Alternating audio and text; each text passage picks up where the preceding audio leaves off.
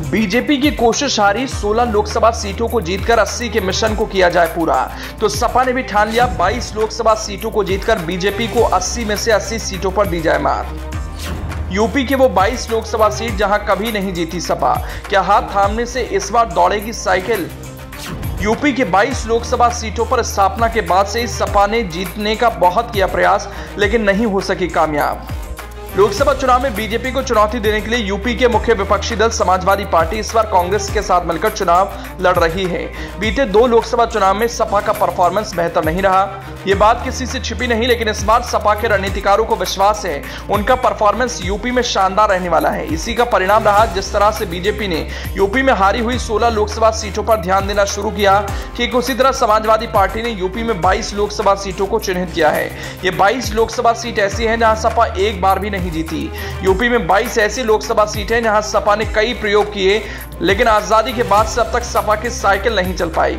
इस बार अखिलेश की अगुवाई में कोशिश है किसी तरह से इन सीटों पर जीत हासिल की जाए, ऐसे में आपके जहन में ये बात होगी, ये 22 सीटें कौन सी हैं जिस पर समाजवादी पार्टी अपने स्थापना काल से लेकर जीत हासिल नहीं कर सकी?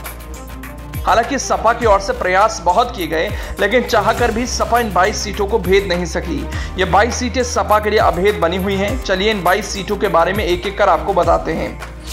पश्चिमी यूपी की मेरठ, बागपत से लेकर पूर्वांचल की संत कबीर नगर और कुशीनगर सीट शामिल है। इसके अलावा गौतम बुद्ध नगर, गाजियाबाद, अलीगढ़, हाथरस, मथुरा, फतेहपुर, सीकरी, पीलीभीत दोहरा बरेली, कानपुर अकबरपुर, सुल्तानपुर, लखनऊ, अंबेडकर नगर, वाराणसी भदोई श्रीवासी बस्ती सीट शामिल है। इनमें से कई परिसीमन के बाद की हैं। लोकसभा चुनाव में 22 सीटों में से 16 पर सपा ने अपने प्रत्याशी उतारे हैं, जबकि 6 सीटों पर सहयोगी दल के उम्मीदवार मैदान में हैं। कांग्रेस के हिस्से में कानपुर, वाराणसी, फतेहपुर, सीकरी, मथुरा और गाजियाबाद सीट गई है। भदोई सीट सपा ने टीएमसी को दी है। मेरठ, बागपत, गौतम बुद्ध नगर, अलीगढ़, हाथरस, पीलीभीत, धौरहरा, बरेली अकबरपुर सुल्तानपुर संत कबीर नगर कुशीनगर अंबेडकर नगर श्रीवास्ती लखनऊ, बस्ती, सीट सपा के पास है।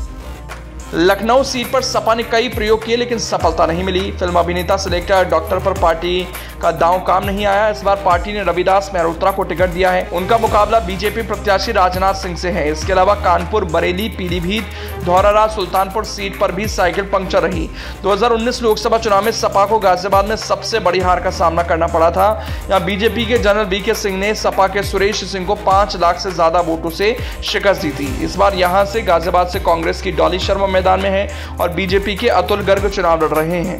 गौतम बुद्ध नगर में बीजेपी के महेश शर्मा के मुकाबले सपा ने महेंद्र नागर को उतारा। समाजवादी पार्टी ने प्रधानमंत्री नरेंद्र मोदी के संसदीय क्षेत्र वाराणसी से 2019 में शालिनी यादव को उतारा था। सपा प्रत्याशी को नरेंद्र मोदी से 4.79 लाख वोटों से शिकस्त मिली थी।